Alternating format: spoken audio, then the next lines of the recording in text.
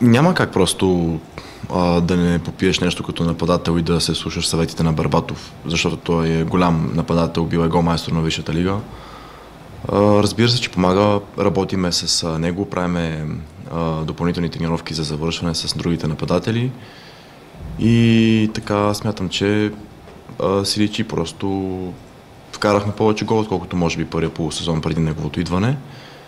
И все пак ние си имаме старши треньор, господин Томаш, който смятам, че е човекът, който прави тактиката и казва състава, защото той е старши треньор. Господин Барбатов помага само за тренировките на нападателите.